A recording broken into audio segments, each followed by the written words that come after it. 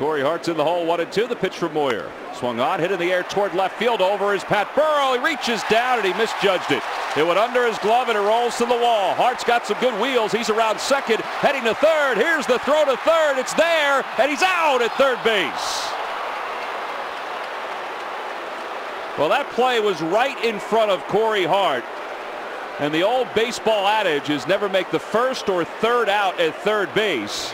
That he was being aggressive, but he probably should have been a little more conservative on this particular play. Well, couldn't agree with you more on that, especially when it's no outs. But that would give you really a good situation. See how he's going around there. And the umpires, it's interesting how they actually had their alignment. There's your home plate umpire, and Kellogg